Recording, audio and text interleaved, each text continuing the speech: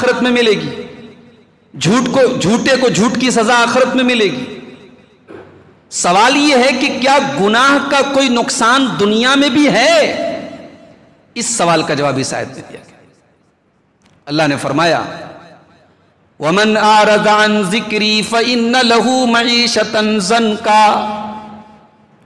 जो हमारे ज़िक्र से मुँह मोड़ेगा, जो हमारी बात को नहीं मानेगा जो गुनाह करेगा, वमन आरदान जिक्री फ़िन लहू मीशतन जन का हम उसकी ज़िंदगी को तंगी वाली बना देंगे, हम उसकी ज़िंदगी को परेशानी वाली ज़िंदगी बना देंगे।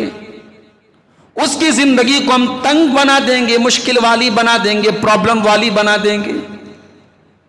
और एक तफसीर इस आयत की यह भी की गई कि कब्र में अजाब देंगे अब जो गुनाह करेगा उसे कब्र में अजाब देंगे, उसकी कब्र को तंग कर देंगे। वना शुरू यौमल क़ियामती आमा। जो हमारे ज़िक्र से मुँह मोड़ा करता था, उसे कल कयामत के दिन हम अंधा बना करके उठाएँगे। दुनिया में उसने कभी चश्मा लगाया हो, न लगाया हो, दुनिया में उसकी आँखें बिल्कुल सही सलामत रही हो। इससे कोई मतलब नहीं है। कल कयामत के दिन जब हम उसे उठाएँगे तो अंधा बना करके उठाएँगे। काला रब्बिलिमा हशर तनी आमा। बंदा कहेगा अल्लाह, तू मुझे अंधा बना करके क्यों उठा रहा है? वक़द कुन तो बसीरा।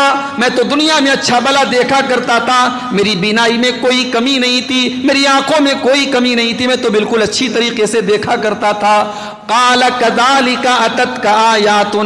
अल्लाह फरमाएगा, मेरे बंदे, हमारी आयतें तेरे सामने पड़ी गई, कुरान तेरे सामने पढ़ा गया, नबी की हदीसें तेरे सामने पड़ी गई, तू एक कान से सुनकर दूसरे कान से उड़ा दिया करता था, तू भुला दिया करता था, तू नजरअंदाज कर दिया करता था, तू इग्नोर कर दिया करता था। वह कदाली कल यौमतुनसा आज हम तुझे इग्नोर कर देंगे, आज हम तेरी तरफ़ अपनी रहमत की नज़रें नहीं डालेंगे।